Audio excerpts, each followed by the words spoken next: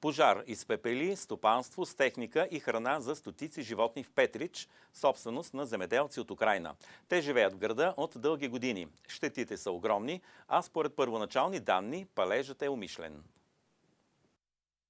В това помещение имаше около 1500 бали люцерна, 3000 малки бали.